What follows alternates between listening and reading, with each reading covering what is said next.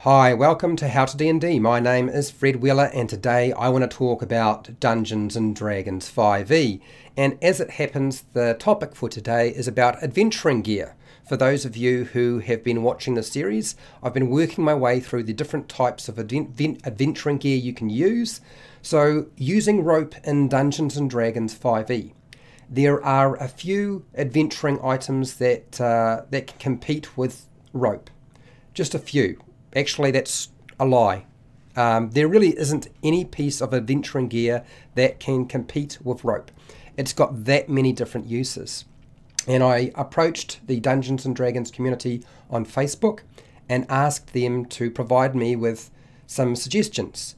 I got 350 comments, some of which I paid attention to, and some of it which I have included in this video, uh, and some which aren't really suitable for public consumption. Anyway, here we go. So the first thing is, very obviously, you can use it to tie up your enemies and monsters once you've captured them, particularly if you don't want to kill them and you want to interrogate them later on. You can use it for creating a snare or a trap of some kind, usually just a loop in the ground with a, um, a trip line, which allows them to be pulled up into the tree, something like that.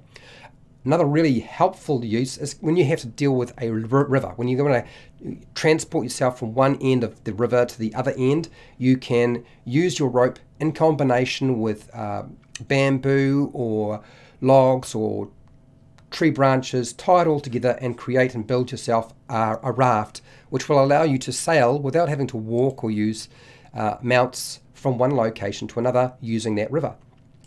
You can use it as a lasso. If you're really good with a, with a lasso, maybe you can capture your enemies or capture a, a steer, a beast, and then have it for dinner if you really want to. You can also use it for if you tie a rope to the end of the, uh, tie a rock, not a rope, why would you do that? So you tie a rock to the end of the rope and it was used to measure depth or distance in water. So you can check the water depth by dropping the rope that's on a rock or some sort of weight that you've attached to it into a pool of water or into the sea or ocean to determine the depth below your vessel as you're traveling along um, your watery grave. No, it's not going to be a watery grave. Not at all, not at all. You can use it to make a rope dart and I would tie something like a dagger or a piton to the end. A dagger is probably going to be more useful, but if you have like a spearhead and you've got a loop in it, then you can tie that to there. And if you're the sort of person who uh, wants an improvised weapon, a rope dagger can be kind of useful, particularly because it's got a lot of reach. You, got, you can swing it out quite a long way and then bring it back. It is one of the most commonly used tools, rope, for crossing a fast flowing river. So one person is tied onto the rope, the others hold the other end, they cross the river, making all of the, um, taking all of the risks, get to the other end. If they start getting pulled down the river, it doesn't matter because the rest of the group can then pull them to safety back onto shore.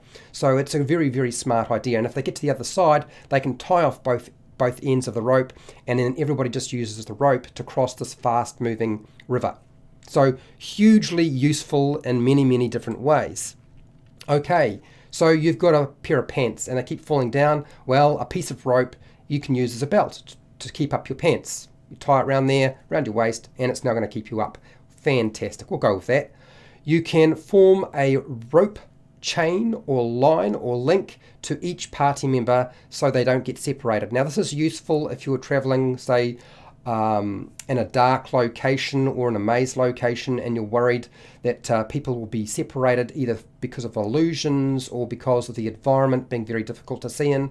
So tying each other together um, could be quite useful. I have found as a general rule that tying the party members together has on occasions been useful and other occasions resulted in tremendous problems uh, which actually have resulted in characters going down. So it can go both ways. You can take that rope, soak the rope in oil, and use it as a fuse if you want to make something explode. Um, a rope is a really good tow cable, so you can use it for pulling a sled, a carriage, a boat, or an animal um, out of muck or through water or a variety across snow, all those sorts of things. So ropes are always useful for that sort of thing. Uh, when you combine a rope with a pulley, you can use it for lifting heavy objects or creatures. And then, of course, you can then use that pulley system to shift uh, the heavy weight much easier than you could before. Now, for those of you who are sort of prone to smoking, if you're really desperate and you've got hemp rope, I suppose you could smoke the hemp rope if you're desperate. I don't think it's going to taste very nice and I don't think it's going to be the best smoking experience if that's the sort of thing you're into doing with your characters. But you could always give it a go. You can use the rope to set up a trip line. Now, not a trip wire because the, the rope is going to be far too thick, but provided that the location is um, heavily obscured or it's darkness, there's a good chance your enemies might fall over the trip line if you set it low enough and uh, you know the area is obscured in some way. You can use your rope to tie a drunk party member onto their horse so they don't fall off. Or if you're really, really tired and you, are riding for a long time, then tying yourself on. Um, I think we've probably seen this in a couple of different movies. For those of you who watch lots of movies, I'm pretty sure it's been done a number of times. Okay, one of the most obvious ways of using the rope is for the spell rope trick. You need a section of rope for that.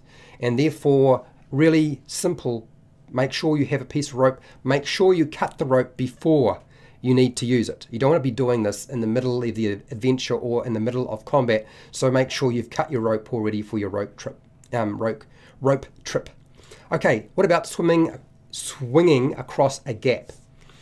So when you want to board um, another ship, swinging across, or you want to um, swing across a crevasse or uh, a, section um, where there's just no way you can jump it, then using a rope might be useful, particularly if you have a grappling hook at the other end and you can swing it and snag it onto something, or you've already fastened it off in some way through either magic or maybe you've sort of like got some other means of um, securing it. Securing it at the top and then allowing you to swing across that gap. You can use it for tying supplies onto your mule so that it doesn't wind up getting lost or dropped off or falling off. Um, you can tie a bell to a rope and set up some sort of alarm system so that that trip line, uh, when it's tripped, setting it up around your campsite will uh, be be knocked and of course it will activate the bell and then you'll be able to hear somebody who's trying to sneak up on your campsite and do some sort of horrible thing to you which of course no dungeon master has ever done. Surely not. Uh, what about using your rope uh, tying it onto a harpoon? And then now you have a harpoon line and you can go shark fishing don't ask me what you would use for bait. There are probably many different things you can do. I would suggest going with blood. I wouldn't use your uh, party members if you can help it, but these things do happen sometimes. You can use it as a safety line when you're walking along a ledge. So one of the biggest problems when you're um, trying to scout across a ledge is the chance that somebody might fall now, I know what people are going to say. Well, Fred, yes, that's all very good, but if one falls, they're going to drag everybody else off the edge, and then somebody's going to wind up having to cut the line, and it could wind up causing more problems than it's worth.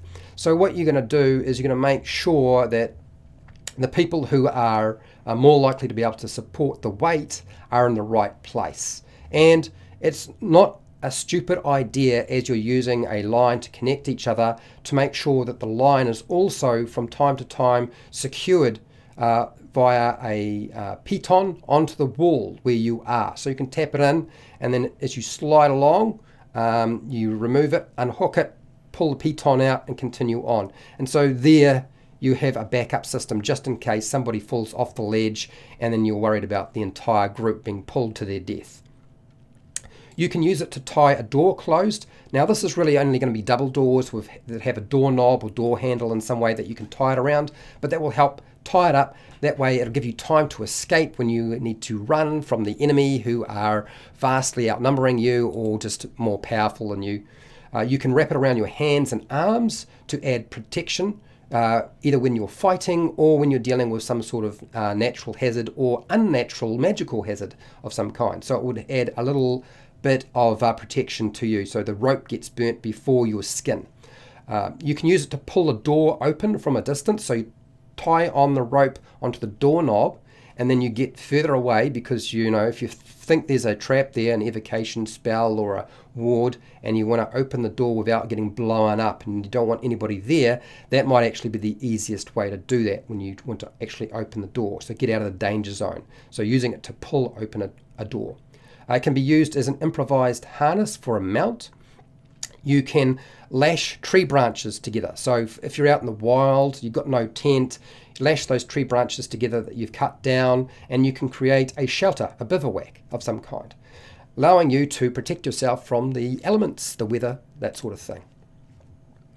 Uh, if you are in a position where you need to get from a high location to a low location, you may be able to set up yourself a flying fox zip line so you can have a quick escape. So you then tie it on to your high location, you have it uh, tied off um, down the bottom where you went to finish your line, and then of course you can use a belt or some other item to uh, use as a way of don't use your hands, you're going to wind up with no skin on it. Obviously you need to have something that isn't going to wear through the rope and isn't going to wind up breaking. So um, a, a, sturdy belt around your um, uh, waist, or maybe just uh, a couple of lengths of rope that have been linked together and just double it up or triple it up in some way.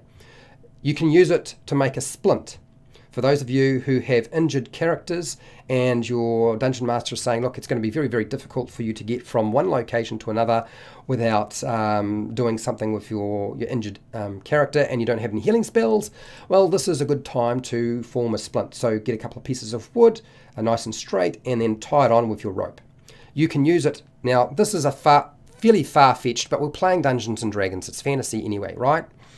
you can tie an arrow onto your rope and shoot it across a gap, a chasm, um, chasm, a space, a gap, whatever, and allow you to hopefully, if it's strong enough, um, hook onto something, and then you can then create yourself a, uh, another zip line or um, a support so you can clamber along it. If you're the sort of person who likes a tight rope, then I suppose you could also use it as a tight rope uh, and cross one, one point A to point B where there is no space to actually stand. Uh, tie on a crowbar or something that's heavy onto your rope, throw it down a passageway, and pull it across there to detect traps. Now, I've kind of talked about this option before in previous videos with a different item. It's just sort of like a follow-up if you ask me. You can use, now these last ones are a little on the odd side. For those of you who are wondering, Fred, they're starting to get a little bit strange. Well, these last three, no, I'd say the last two are a little bit on the wacky side. So you can use it to make a noose if you decide that you must hang somebody. I I don't know why you would want to do that, but if there's some sort of dark sort of fantasy that you have to fulfill and you've decided that hanging is necessary, then of course you need a rope to be able to create a noose and then you just need a high location to tie it to and then it's uh, it's hanging time. Um, you can also use a length of rope as a strangle line or a garrote, particularly if the sort of individual who doesn't want to use a dagger and they feel that, you know, by using the garrote they won't be able to talk or speak or make noise, rather than sneaking up from behind and stabbing them in the back, you're going to use your garrote or your length of rope. Okay, and of course there is the most obvious way that you can use a rope, if you absolutely must, and that is you can use a rope to climb up and down a mountain, a wall, a cliff, if you absolutely must. Now, if you're going to do that sort of thing, make sure you have a rope and a grappling hook, or a climber's kit is probably much smarter because you then you get the benefit of having a harness and pitons, and there's a lot of extra safety features involved in using something like a, a climber's kit rather than just a standard piece of rope tied off at the end. Now, one of the things that uh, has probably been discussed more than a few times at my table and at uh, other Dungeons and Dragons groups, and that is when you get your rope, it's actually much easier to climb the rope if you knot the rope. Now, here's the thing if you're going to knot the rope, it's going to make it shorter. So you need to make sure, once you've knotted the rope, that you have talked to your dungeon master and say, look, how long is my rope now? Because you might need a number of sections of knotted rope to be able to get 50 feet down, whereas a, a length of um, 50 foot rope is probably going to get you about 50 foot down or up, uh, even if you tie it off. There's only going to be a little bit of rope not there. Probably um, more than enough that you can cope with the drop um, at the end. So, or the, you know, getting onto the rope in the first place. So these are all the ideas that I thought you might find useful for the use for the rope in your Dungeons and Dragons game. Um, I have hundreds of videos for players and dungeon masters, which you are welcome to go and check out.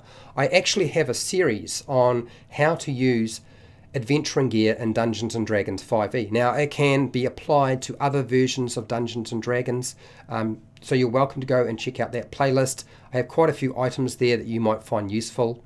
Now, if you want to support the channel so I keep doing videos like this, then uh, I have a Patreon page. Uh, I also have uh, affiliate links down in the description to the book depository and Amazon, uh, and buying stuff there supports the channel as well. I also have a merchandise shelf underneath all of my videos where you can buy merchandise from me.